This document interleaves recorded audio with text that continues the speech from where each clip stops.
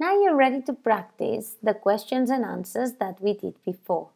So let's match these different meals with the different times of the day. Remember, you have the letters below, but you to scramble them to match the words above. Yes? Then let's practice the question When do you eat breakfast? Remember, number one matches number one of the exercise above. I eat breakfast at 7 o'clock. You see the time? Very good. When do you eat? And then you need to say the meal that was in number two. Yes, we eat mm, the meal at 12.30. Following this pattern, you will ask the question for number 3 and 4 and the answer for number 3 and number 4. Let's turn the page. And now it's the question is with he or she, depending if it's a girl or a boy. So the question will say thus and the answer eats. Okay?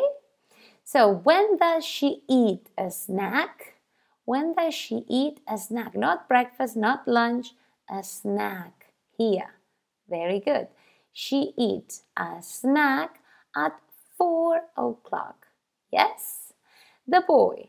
When does he eat lunch?